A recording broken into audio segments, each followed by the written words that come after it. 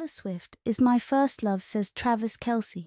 Post game at Chiefs vs. Dolphins, 13th of January 2024.